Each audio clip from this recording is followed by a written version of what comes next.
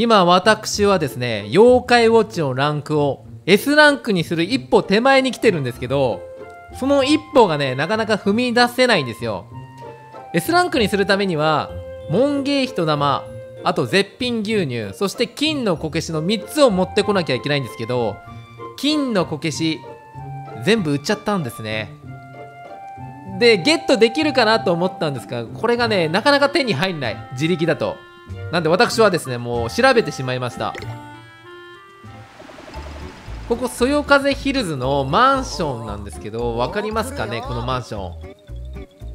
妖怪ウォッチ元祖本家とかねやり慣れてる人はもう見慣れてる場所だと思うんですけどここ南の方に下がっていってここにワンコちゃんがいるんですよワンコちゃん。でここヘリで降りて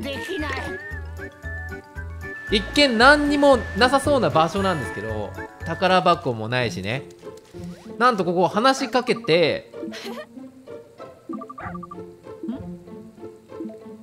で調べるとなんとまさかの金のこけしが出てくる。これね攻略サイト載ってたんですね。あと方法としてはまだあるんですよ。金のこけしの入手の仕方。うんあともう一つはこのそよ風ヒルズにあるコンビニの謎の立て札。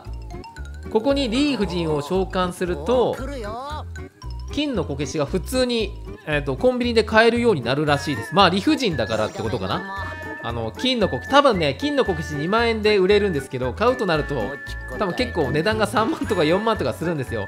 だから理不尽だからそういうことはできるんでしょうね。ここですここここここ。はいということで、えー、これからですねヨップル社に行ってウォッチランクを S ランクにしたいなと思います。